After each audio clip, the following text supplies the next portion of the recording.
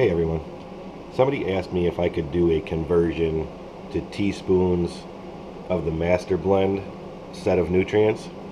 So that's what we're going to try to do today. So I got my scale. This is a cheap little scale from Amazon. Was like $10. So I'm going to see what each one does. So the first one I'm going to do is the Masterblend. We're going to zero this out. We're going to use a half teaspoon, a level teaspoon, a level half teaspoon. Put that in there. So that's reading 2.8. So that's a little too much. Per gallon for tomatoes and peppers, I believe, is 10 or 2, 2 and 1 for a gallon. So this is a quarter teaspoon. So that's 1.3. It's a little too little. And so we're going to do, there's a quarter.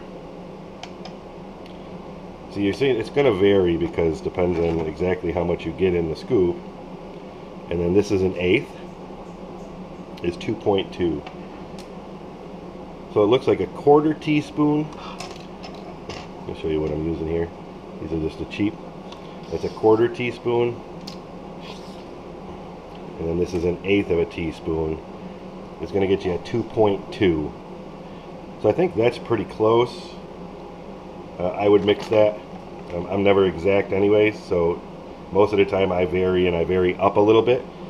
So 2.2 for a gallon of the Masterblend for 1838, which is this here. This is the one I'm measuring out right now. It looks like a quarter teaspoon and an eighth of a teaspoon get you 2.2 grams. So that's pretty close. I would use that in a gallon. So let me clean out my I'll clean out my cup. And next we'll do the calcium nitrate. This should also be 2 grams. I'm going to start with a quarter teaspoon. And you can see it's, it's a pretty much level quarter teaspoon, maybe a hair shy of a full quarter. So that's 1.1. So that means we should be able to get away with maybe a half a teaspoon. So we'll go with a half teaspoon.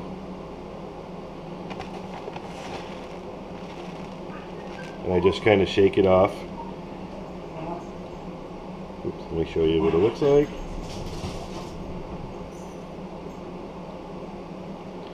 And see that's 2.7. It does vary a lot because I guess it's just the way the nutrients are. The sizes are different.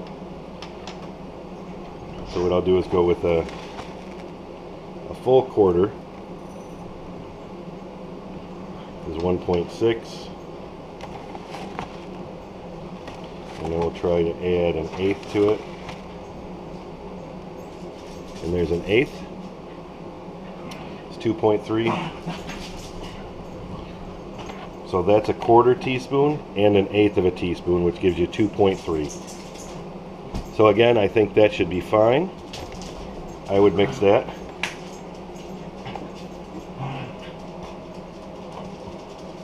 and then we'll clean this out again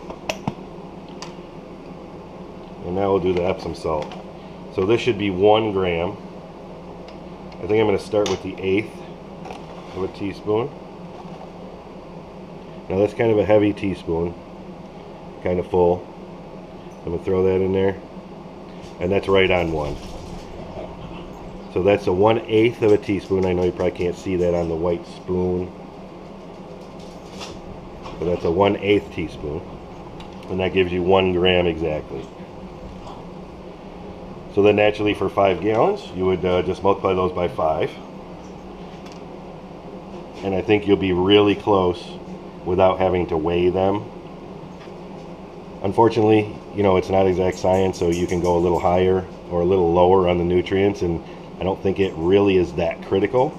like I said, when I mix mine, if I go to 2.3 when I'm mixing a gallon, I just leave it. Um, I think I've gone up as much as 2.4, uh, mixed it in a gallon.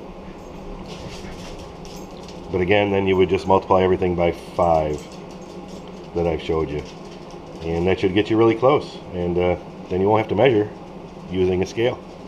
Okay, I hope that helps somebody. And uh, please like, subscribe, and please leave a comment. Okay, thanks a lot. Bye.